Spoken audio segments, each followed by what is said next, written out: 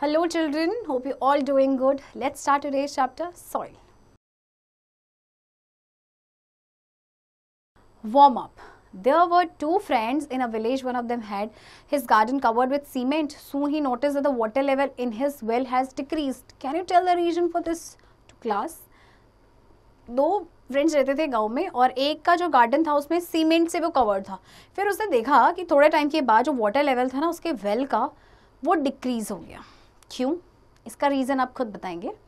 Soil soil is the topmost layer of the earth surface it is a natural body which provides a medium for vegetation and shelter for many living organisms we get food clothing building materials medicine and several other useful things from the crops and plants that grow in the soil soil क्या है? आपकी earth surface की top most layer है, ठीक है? और ये किसी भी लिविंग ऑर्गेनिज्म के लिए बहुत ही इंपॉर्टेंट है। देखिए, क्योंकि फ़ूड क्लोदिंग बिल्डिंग मटेरियल्स और बहुत सारी यूजफुल थिंग्स हैं जो हमें मिलते हैं क्रॉप से और प्लांट से, जो कि आपके सॉइल में ग्रो करते हैं। Formation of soil soil is derive from rocks through the process of wear and tear generally soil contains minerals organic matter living forms air and water the process of formation of soil is called weathering Different stages of soil formation are as follows. Parent rocks break down into small pieces by the action of wind, water, or difference in temperature. Soil is also broken down by plants, animals, and human beings. Rocks further undergo weathering to form fine rock particles. Plants and animals remain also break down by the action of bacteria and other microorganisms to form nutrients material called humus. Addition of minerals and salts occurs at this stage. Soil देखिए आपकी derive होती है rock से through the process of wear and tear generally soil में आपके minerals होते हैं organic matters होते हैं एयर एंड वाटर होते हैं. तो जो प्रोसेस है सॉइल फॉर्मेशन का उसे हम कहते हैं वेदरिंग अब ये स्टेजेस में होती है. जैसे कि जो पेरेंट रॉक है वो ब्रेक डाउन हो जाती है small pieces by the action of wind water है या डिफरेंस इन टेम्परेचर है. ओके okay, इसके अलावा जैसे प्लांट्स एनिमल और ह्यूमन बींग्स के द्वारा भी जो सॉइल है वो ब्रेक डाउन हो जाती है. फिर रॉक जो है, उसमें फर्दर वेदरिंग होती है, जिसकी वजह से फाइन रॉक पार्टिकल्स बनते हैं। और जो प्लांट्स और एनिमल्स के रिमेन्स होते हैं, वो भी ब्रेक डाउन हो जाते हैं बैक्टीरिया के एक्शन की वजह से या दूसरे माइक्रो ऑर्गेनिज्म की वजह से, जिसकी वजह से एक न्यूट्रिय मटीरियल बनता है, जिसे कहते हैं ह्यूमस ओके अब जो एडिशन होता है मिनरल्स और सॉल्ट्स का, वो इस स्टेज पे होता है। Composition of soil. As mentioned earlier, soil consists of four major components mineral, organic matter, air, and water, all of which are thoroughly mixed with each other in the soil. The organic component of the soil is called humus. Soil is characterized by physical as well as chemical properties. The physical properties include color, porosity, texture, water holding capacity and the presence of soil organism. देखिए जो चार components होते हैं major आपके soil के जो thoroughly एक दूसरे के साथ मिक्स होते हैं इसके अलावा एक ऑर्गेनिक कॉम्पोनेंट है जो सॉइल में जिसे कहा जाता है humus activity one dig out a handful of soil from your garden put the soil in 500 milliliter beaker and add water to it stir the mixture keep the beaker aside for a while so that the soil settles down Observe the beaker after some time. You will notice that soil particles form several layers in the beaker. From bottom to top, the soil particles are present in descending order of size. Thus, gravel being heaviest forms the lowermost layer followed by sand, silt and clay in the same order. Humus being lighter than water floats on top.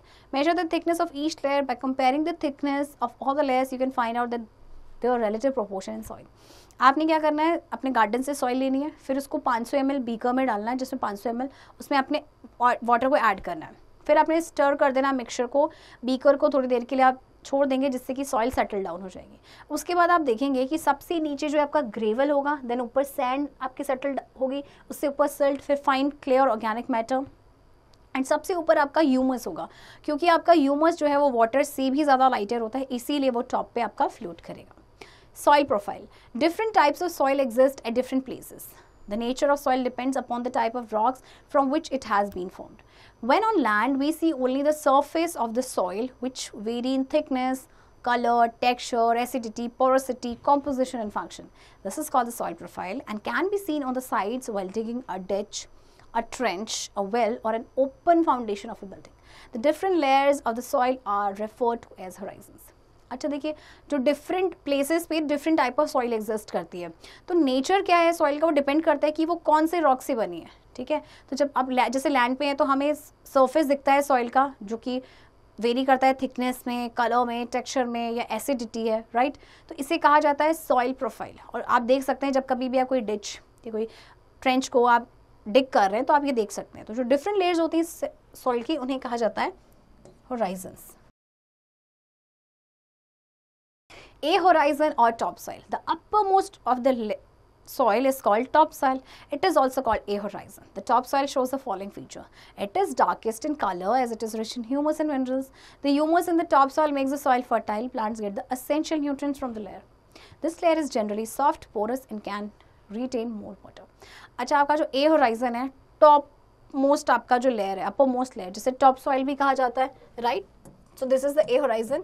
इसमें आप इसका colour dark होता है क्योंकि यहाँ पे humus होता है तो ह्यूमस की वजह से सॉइल जो है आपकी फर्टाइल हो जाती है और ये जो लेयर होती है आपकी जनरली सॉफ्ट पोरस होती है और ज़्यादा वाटर को रिटेन करती है the The roots of small plants embedded entirely in the topsoil. In case of tall trees, the roots may go further down to the second horizon. अच्छा जो roots होते हैं ना छोटे छोटे प्लांट्स के वो इसी टॉप सॉइल तक होती है लेकिन हाँ जो बड़े लंबे ट्रीज हैं आपके उनकी रूट्स हो सकते हैं कि वो नेक्स्ट होराइजन में चले जाए Topsoil provides shelter for many living organisms such as worms, rodents, moles and beetles. इसके अलावा जो topsoil है बहुत सारे animals का घर भी होता है B horizon or subsoil. The layer of the soil which is just below the topsoil is called subsoil or B horizon. This is B horizon. The subsoil shows the following features. This layer is light in color as it has very little humus organic matter. This layer is more harder and compact than the topsoil. This layer is rich insoluble minerals and iron oxide. Roots of trees generally reach this level. This layer is made up of slightly bigger rock particles than that of topsoil. अब ये जो layer है इसका colour light है जिसमें बहुत थोड़ा सा ह्यूमस या ऑर्गेनिक मैटर होता है ये लेयर आपकी हार्डर होती है देन टॉप सॉइल इसमें सॉलिबल मिनरल्स होते हैं आयन ऑक्साइड जैसे कि और जो रूट्स होते हैं ना ट्रीज की जनरली इस लेवल तक पहुँचते हैं ये आपकी थोड़े बिगर रॉक पार्टिकल से बना होता है C horizon this is the lowest layer of the soil profile it is made up of a small lumps of weathered rocks with cracks, holes and crevices which help water in the upper layers to drain away. This process helps to maintain the moisture content too wet. अब C horizon देखिए ये आपका lowest layer है soil profile का right? ये आपके छोटे जो लम्ब्स होते हैं वेदर रॉक से, जिसमें क्रैक्स होल्स होते हैं, उनसे बना होता है, जो कि हेल्प करता है वाटर को अपर लेयर से ड्रेन होने में, ठीक है जिससे कि मॉइस्चर कंटेंट होता है, वो आपका मेंटेन रहता है रॉक होराइजन और बेड रॉक अब देखिए लास्ट जो है आपका दिस इज़ बेड रॉक या फिर इसे रॉक होराइजन भी कहते हैं this is the lowest end of the soil profile. This is light colored and has no organic matter. It is made up of hard rock, which is difficult to cut or break. अब ये light coloured होता है इसमें कोई organic matter नहीं होता है और ये हार्ड रॉक से बना होता है इसको कट या ब्रेक करना बहुत मुश्किल होता है Activity 2. Take a portion of the sample of topsoil. Weigh this portion and record its weight. Keep the remaining topsoil in the plastic bag and shut it tightly. Take the weight portion and heat it for some time. You can even spread the soil on a piece of paper and dry it in the sun for about two days. Wait the dry soil again. Do you find any difference in weight from the previously recorded weight? Why is it different? If you observe the sides of the closed plastic bag, you will see many droplets of water. What does this tell you? As you move about, you may find soil of different color, texture and dampness. Let us see the different properties that distinguish one soil from the other. आपने कोई small portion लेना है top soil का उसको weigh करना है उसका wait आपने रिकॉर्ड करना है ओके okay? अब आपने रिमेनिंग टॉप सॉइल को प्लास्टिक बैग में रखना है उसको टाइटली शॉर्ट करना है आप वेट पोर्शन को लेंगे उसको हीट करेंगे या फिर आप ऐसे भी कर सकते हैं कि पीस ऑफ़ पेपर में आप उसे रख दें और दो दिन के लिए ड्राई होने दें। अब फिर से आप ड्राई सॉइल का वेट करेंगे। अब आपको दोनों में डिफरेंस नज़र आएगा।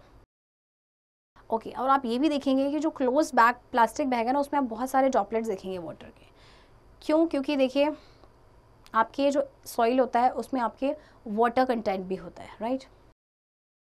तो आप देखेंगे कि जो different colour texture and dampness आप उसमें देखेंगे तो डिफरेंट प्रॉपर्टीज़ होती है जो एक सॉइल को दूसरे से डिफरेंट बनाती है type of soil soil is classified into different types on the basis of the size of the rock particles it contains.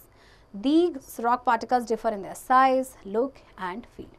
अब सॉइल को क्लासीफाई किया है डिफरेंट टाइप्स में वो डिपेंड करता है कि क्या साइज़ है रॉक पार्टिकल्स का और ये रॉक पार्टिकल्स डिफ़र करते हैं साइज़ में लुक में एंड फील में. यानी इनको अगर टच हम करते हैं तो इनका फील डिफरेंट आता है. The smallest soil particles are called clay clay smooth to touch slightly bigger particles and clay are call silt large and coarse particles are called sand these can be seen easily these are rough to touch अच्छा जो smallest oil particles होते हैं clay होते हैं clay जो होती है smooth होती है, जब आप इसे टच करेंगे, फिर आपका सिल्ट आता है, जो आपके क्ले से बिगर पार्टिकल्स होते हैं फिर आपके होते हैं लार्ज एंड कोर्स पार्टिकल जिन्हें कहते हैं सेंट इनको इजीली देखा जा सकता है एंड ये टच आप इन्हें करेंगे तो these are rough to touch These sizes of the particles in a soil have a very important influence on its properties. Depending upon the relative amount of soil particles, soils are classified into three main types. Sandy soil. The major part, 70 to 80% of this type of soil consists of sand. The proportion of silt and clay are low, about 10% each. Sandy soil is highly porous, having low water holding capacity and low nutrient content. देखिए जो major part होता है soil में लगभग 70 to 80 percent send का होता है। बाकी जो बचा है आपका 10 परसेंट आपका सिल्ट एंड क्ले होता है। सैंडी सॉइल हाईली पोरस होती है लो वाटर होल्डिंग कैपेसिटी होती है उसमें न्यूट्रिएंट कंटेंट भी बहुत कम होता है। This soil is not suitable for plant growth ये जो सॉइल होती है ये प्लांट की ग्रोथ के लिए बिल्कुल भी सूटेबल नहीं होती। Xerophytes plant grow in sandy soil and help in binding the soil particles xerophytes plant यानी कि जो डिजर्ट प्लांट्स होते हैं, उन्हें कहा जाता है। वो सैंडी सॉइल में ग्रो करते हैं। Clay soil this type of soil has a high percentage of clay particles about sixty percent as clay particles are very small in size air and water circulation through the soil is very poor they are for waterlogging is a common feature of places which have this type of soil this soil is unsuitable for plant growth all that it contains some humus अब ये जो तरह की soil होती है, इसमें high percentage होता है क्ले पार्टिकल्स का। क्ले पार्टिकल बहुत ही स्मॉल होते हैं साइज़ में। इसीलिए वाटर सर्कुलेशन इस सॉइल में बहुत ही पुअर होता है। तो वाटर लॉगिंग एक कॉमन फीचर होता है इस तरह की सॉइल का। ये जो सॉइल होती है, ये भी प्लांट की ग्रोथ के लिए सूटेबल नहीं होता। हालाँकि इसमें ह्यूमस भी होता है थोड़ा। Loamy soil Loamy soil is considered as the best for plant growth as it contains equal proportions of sand, silt and clay. This soil has good water holding capacity, has enough air and is rich in organic matter. अब loamy soil जो होती है आपकी best होती है for plant growth. क्यों क्योंकि इसमें equal proportion होता है sand, silt और clay का इस सॉइल की गुड वाटर होल्डिंग कैपेसिटी होता है एयर भी इनफ होता है और ऑर्गेनिक मैटर भी होता है properties of soil let us perform some activities to study the properties of the soil Number one, soil contains air. Activity three, to show that soil contains air.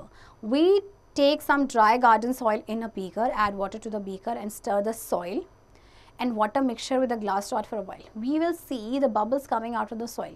These bubbles are of the air which was present in spaces between the soil particles. Actually, when we stir the soil with water, then water enters the spaces between the soil particles and expels the air present there. This expelled air is seen in the form of bubbles coming out from the soil. Soil contains air present in the spaces between its particles. देखिए, आप dry garden soil लीजिए एक beaker में पानी उसमें आप add करेंगे stir करेंगे तो आप देखेंगे उसमें से बबल्स बाहर निकलेंगे। तो ये बबल्स एक्चुअली किसके हैं? एयर के। क्योंकि जब आपने आपके सॉइल के बीच में एयर स्पेस होता है, जब आपने उसमें वाटर ऐड किया तो एयर जो है उसमें से आपकी एक्सपेल हो जाएगी। Number two soil contains water और moisture activity four to show soil contains water और moisture We take some dry garden soil in the glass beaker and cover it with a watch glass. We heat the beaker by using a Bunsen burner. We will see that tiny drops of water are formed on the inner side of the watch glass. आप dry garden soil लेंगे glass beaker में और उसको watch glass से cover कर देंगे फिर आपने हीट करना है बीकर को फिर आप देखेंगे जो टाइनी ड्रॉप्स ऑफ़ वाटर है ना वो वॉच ग्लास के इनर साइड पे फॉर्म हो जाएँगे actually when soil is heated then water present and it evaporates forming water vapor. This hot air vapor rises, gets cooled and condenses on the cold inner surface of the wash glass to form tiny water droplets. Soil contains water or moisture present as a thin invisible film around it. तो जब आपने इसको water जब आपने soil को heat किया तो जो वाटर था उसमें इवेपोरेट होके फिर उसने वाटर वेपर बनाया तो ये जो वाटर वेपर है राइज अप हुआ उसके बाद ये कूल cool हुआ और कंडेंस हो गया वॉच ग्लास के इनर सर्फेस में जिससे कि छोटे छोटे टाइनी वाटर ड्रॉपलेट्स बने number three soil allows water to percolate soil is porous in nature The size of pores in soil depends upon its texture. The water held by soil within its pores, voids and cracks in different layers is popularly known as soil water. Plants require large quantities of water for their sustenance and growth. Soil water is an important medium for transporting essential plant nutrients from the soil to the plant body. Soil porous होती है तो जो size होते हैं pores के soil में वो depend करते हैं उसके टेक्सचर के ऊपर। तो वाटर जो सॉइल हेल्ड करके रखते हैं उसके पोर्स में होते हैं। वाइड्स या जो क्रैक्स होते हैं डिफरेंट लेयर में जैसे आपका सॉइल वाटर भी कहा जाता है। तो प्लांट को लार्ज क्वांटिटीज ऑफ़ वाटर की ज़रूरत होती है ग्रोथ के लिए। तो जो सॉइल वाटर होता है एक इंपॉर्टेंट मीडियम होता है जो कि असेंशियल प्लांट न्यूट्रिएंट्स को ट्रांसपोर्ट करता है सॉइल से प्लांट बॉडी तक। Immediately after rain or irrigation, water percolates through the porous soil and continues to move in the soil mass to deeper layers because of the gravitational force. The downward movement of water practically ceases after 48 to 72 hours. The water that percolates down and reaches the rock bed forms the water table of groundwater. We pump out groundwater by digging wells and tube wells for use as drinking, domestic agriculture, or industrial water. The soil facilitates percolation of rainwater to the underground aquifer for our use. The water which is retained by the soil is soil water or soil moisture, which is required by plants for their growth. The soil serves as a water reservoir or bank. Water is deposited in this bank and plants withdraw it during their growth. If there is a lot of clay in the soil, its pores are too small to permit water to percolate through. Therefore, after heavy rains, water collects over such soil waterlogged soil as it is called is not suitable for cultivation.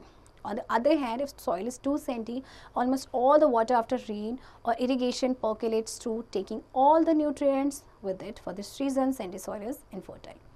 अच्छा जैसे कि आपकी बारिश हुई या irrigation हुआ तो water जो है पोरस सॉइल से पोकेलेट हो जाता है और वो आपका कंटिन्यू मूव करता है सॉइल से, से डीपर लेयर्स में ग्रेविटेशन फोर्स की वजह से, जो डाउनवर्ड मूवमेंट है, ये आपका 48 से 72 आवर्स के बाद स्टॉप हो जाता है। फिर वाटर जो है पर्कुलेट होता है, वो रॉक आपका बेड तक पहुँचता है वाटर टेबल बनाता है। फिर आप ग्राउंड वाटर को हम पंप करते हैं बाई डिगिंग वेल्स या ट्यूब वेल्स तो सॉइल जो है, वो रेन वाटर को पर्कुलेट करने में फैसिलिटेट करता है ओके okay? तो वाटर जो रिटेन करती है सॉइल वो सॉइल वाटर होता है या सॉइल मॉइस्चर होता है, जिसको प्लांट यूज़ कर लेते हैं अपनी ग्रोथ के लिए। तो सॉइल जो है एक रिजर्वियो या वाटर रिजर्वियर बैंक की तरह आपका सर्व करता है। तो हैवी रेन के बाद क्या होता है कि जो वाटर है, वो आपके सॉइल में कलेक्ट हो जाते हैं। तो जो वाटर लॉग सॉइल होती है, वो कल्टिवेशन के लिए आपके सूटेबल नहीं होती। जबकि सॉइल जो ज़्यादा सैंडी होती है, जिसमें से जिसमें जो पानी जो आपका बारिश इरीगेशन के बाद पर्कुलेट हो जाता है और जिसकी वजह से वो सारे न्यूट्रिएंट्स दे देता है। तो इस रीजन रीज़न की वजह से जो सॉन्डी सॉइल है आपकी, वो इनफर्टाइल होती है। Activity 5 to measure the percolation rate of water in soil. We take a 20 centimeter PVC pipe having a diameter of about 5 centimeter. At that place where percolation rate of water is to be measured, dig the soil to a depth of about 2 centimeter in the ground. Place one end of the pipe in the dug up round and hold it vertically.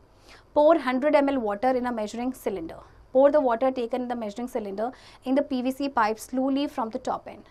We note the time when we started pouring water with the help of a stopwatch. Care is to be taken not to let the water spill over or run down on the outside of the PVC pipe while pouring.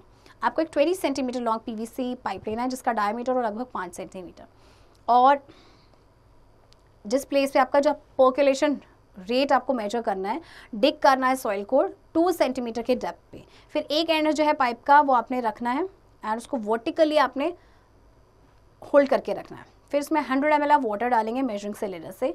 फिर आप क्या करेंगे, जो आपने measuring cylinder में लिया PVC pipe में आप डालेंगे धीरे धीरे से। फिर आपने टाइम नोट करना है कि जब आपने वाटर को पोर किया स्टॉप वॉच की हेल्प से आपने जो है टाइम को नोट करना है। फिर आपने ये ध्यान रखना है कि जो वाटर है, वो स्पिल ओवर ना हो या फिर जो पीवीसी पाइप है, उससे बाहर वो रन डाउन ना हो। When all the water has percolated, leaving the PVC pipe empty, we note the time again. The difference in the two time readings will give us the time taken by the water taken in the measuring cylinder to percolate into the soil. The percolation rate of water in the soil can be calculated by using the formula. अब इसके बाद आपने क्या करना है जब सारा का वाटर आपका पर्कुलेट हो जाएगा जिसकी वजह से पीवीसी पाइप एकदम खाली हो गया उसके बाद आपने टाइम को देखना है फिर से तो जो डिफरेंस आएगा टाइम रीडिंग्स के बीच में उससे आपको पता चल जाएगा पर्कुलेशन रेट ऑफ़ वाटर का तो उसका फॉर्मूला देखिए आपका ये है volume of water percolated in soil upon time taken for this percolation.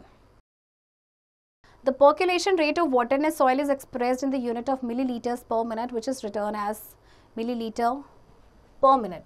On comparing, we find the rate of percolation of water through different types of soils is different. Sandy soil is quite loose, so the percolation rate of water is highest in sandy soil.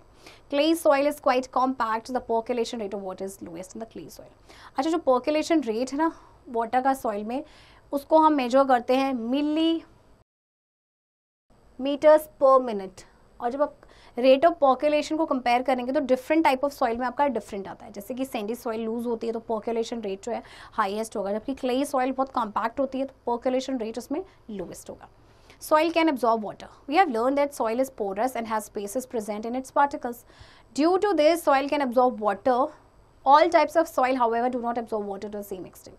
To find which soil absorbs more water and which soil absorbs less water, we need to find the percentage of water absorbed by a soil.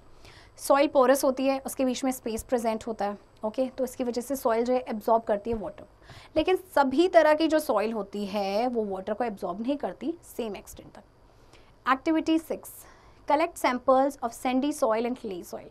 Take two measuring cylinders and place a funnel each over them. Fold filter paper to form cones and put them on each funnel.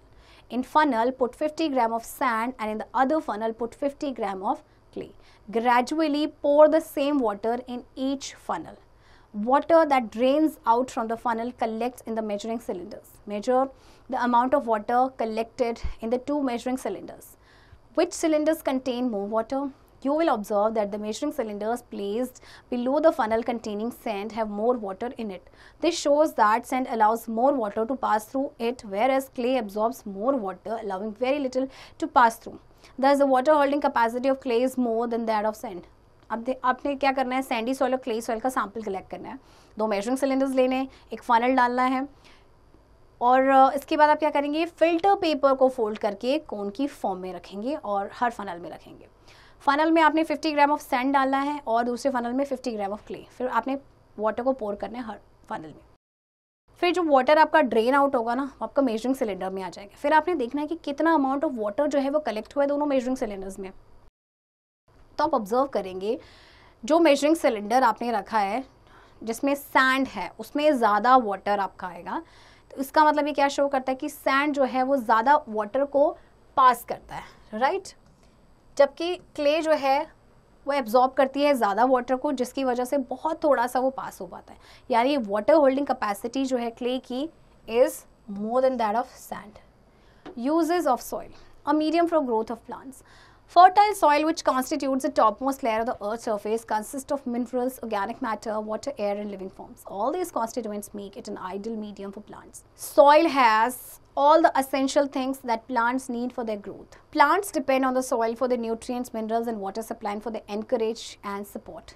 देखिए fertile soil आपकी बनी होती है top most layer से earth surface की जिसमें आपके minerals होते हैं ऑर्गेनिक मैटर होता है लिविंग फॉर्म्स होते हैं तो आपके देखिए सॉइल में वो सारे असेंशियल थिंग्स होते हैं जो प्लांट्स को ग्रोथ के लिए ज़रूरी होते हैं। प्लांट्स जो है सॉइल पे अपने न्यूट्रिएंट्स के लिए मिनरल्स के लिए सपोर्ट के लिए वाटर सप्लाई के लिए डिपेंडेंट होते हैं। Soil plays a vital role in providing oxygen to the roots of plants for their growth and for seed germination through the process known as aeration अब soil जो है, वो प्लांट्स की roots को ऑक्सीजन प्रोवाइड करती है उनकी growth के लिए और सीड जोमिनेशन के लिए। एक प्रोसेस जिसे कहा जाता है एरेशन इसके through a habitat for organisms soil is where enormous number of organism live some of these can be seen with the help of naked eye whereas others are visible only under microscope soil organisms are of many different kind they are classified according to their size into the following three categories microfauna These are the smallest and the most abundant soil organism. In size, they range from 20 to 200 micrometers. Microfauna includes soil algae, bacteria, fungi and protozoa. अच्छा soil में बहुत सारे organisms रहते हैं तो उनको classify किया गया है उनके साइज़ के according number one is microfauna तो ये स्मॉलेस्ट हैं सबसे छोटे हैं और इनकी रेंज है 20 टू 200 माइक्रोमीटर्स इनका साइज़ है इसमें आपके देखिए ये सारे ही इंक्लूडेड है next is mesofauna These are the next largest group of organisms ranging in size from 200 to 10 micrometers. The important organism included in this group are mites, columbola and hematodes. अब next largest group जो है organism का इनका size range करता है 200 से लेके 10 micrometres तक तो इसमें ये सारे ही ऑर्गेनिज्म आपके इंक्लूडेड हैं Next is macrofauna. Soil creatures of this category include larger insects such as earthworms and termites. In general, the more common soil organisms are protozoa, nematodes, mites and earthworms. Some burrowing animals such as snakes, rats, lizards and amphibians also make the soil their home. तो macrofauna में आपके आते हैं जैसे कि बड़े insect आ जाते हैं आपके अर्थवर्म्स हो गए टर्माइट्स हो गए आपके कुछ स्नेक्स रेड्स लिजर्ड्स एम्फीबियंस ये इनका जो घर है वो सॉइली होता है soil erosion The topsoil is very fertile. It is essential for the growth of plants. It is soft and light. It can be carried away easily by strong winds or washed away by floods or heavy rains. The process of removal of fertile topsoil from land by strong winds or by flowing water is called soil erosion. This process makes the land barren, unfit for any cultivation. Top soil देखिए आपकी बहुत ही fertile होती है ये plant की growth के लिए असेंशियल होती है अगर ये एक बार जैसे स्ट्रॉन्ग विंड्स की वजह से या हैवी आपकी जो रेन होती है, जिसकी वजह से फ्लड होते हैं, उसकी वजह से अगर वॉश अवे होगी तो फिर क्या होगा कि जो सॉइल आपकी इम्फर्टाइल हो जाएगी, यानी कि सॉइल इरोजन हो जाएगा। सॉइल इरोजन होगा तो लैंड बैरन हो जाएगी और वो कल्टिवेशन के लिए अनफिट हो जाएगी। Causes of soil erosion. The main causes of soil erosion are deforestation. Large scale cutting down of forest trees is called deforestation. It is the main cause of soil erosion. Due to increasing population, forests are cleared to make the land available for agriculture, construction of buildings, roads and industries. Overgrazing by large animal population, poor farming methods or leaving the land uncultivated for a long time. Forest fires also lead to soil erosion. अब देखिए बहुत ज़्यादा scale में जो है trees को काटा जा रहा है दैट इज़ कॉल्ड डिफॉरेस्टेशन ये मेन रीज़न है सॉइल इरोशन का। अब डिफॉरेस्टेशन क्यों हो रहा है? क्योंकि देखिए बिल्डिंग्स कंस्ट्रक्ट की जा रही है रोड्स इंडस्ट्रीज़ कंस्ट्रक्ट की जा रही है, ठीक है? और ज़्यादा से ज़्यादा लैंड हमें एग्रीकल्चर के लिए चाहिए तो इसकी वजह से ट्रीज़ को काटा जा रहा है। ओवर ग्रेजिंग जब कर देते हैं एनिमल उसकी वजह से भी सॉइल इरोशन होता है। और फॉरेस्ट फायर की वजह से सॉइल इरोशन होता है। पुअर फ़ार्मिंग मेथड्स होते हैं, उसकी वजह से भी सॉइल इरोशन होता है। Prevention of soil erosion. Soil is a valuable natural resource. It helps in sustaining life on the earth. So we should protect soil by preventing its erosion. Soil erosion can be prevented in the following ways. By planting more trees and grass. Roots of green plants bind the soil particles together and prevent soil erosion. Tall trees act as wind screens and prevent soil erosion by reducing the wind speed. Afforestation increase The area under forest by large scale growing of forest trees तो देखिए आप soil erosion को prevent कर सकते हैं जब आप ज़्यादा से ज़्यादा ट्रीज़ एंड ग्रास को लगाएंगे ए फॉरेस्टेशन करेंगे मतलब ज़्यादा से ज़्यादा आप फॉरेस्ट ट्रीज़ को ग्रो करेंगे on large scale preventing overgrazing. Overgrazing by animals like cows, sheep and goats must be checked. Fodder should be raised. Step farming in hilly areas. This method controls the speed of water flow and checks soil erosion.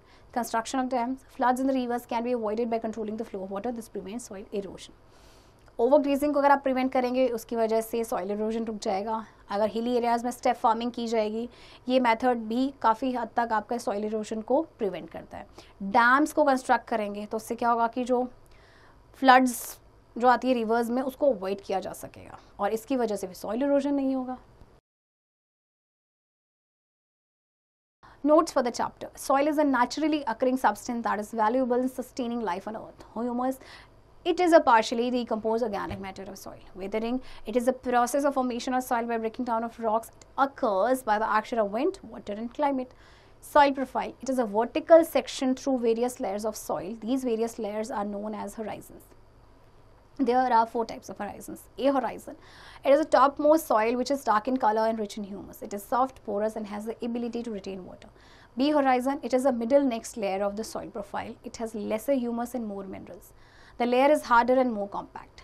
C horizon, it is a third layer made up of small lumps of rocks with cracks. Bedrock, it is a lowermost hard layer and difficult to dig with speed. Soil types. Soil is a mixture of rock particles and humus. Soil rock particle plus humus. Living organisms such as microbes, earthworm and plants roots are found in soil. Classification of soil. Sandy soil. Sand particles are larger that cannot fit together. Large spaces are present between particles. It is light, well aerated and dry. Clay soil. Clay particles are smaller and tightly packed together. It has little space for air and can hold water between particles. Loamy soil. It is the best topsoil for the growth of plants. It is a mixture of sand, clay and silt. It contains humus and has the right water holding capacity. Properties of soil. Percolation rate of water varies in different soil types. Percolation rate of water is highest in sandy soil and least in clay soil.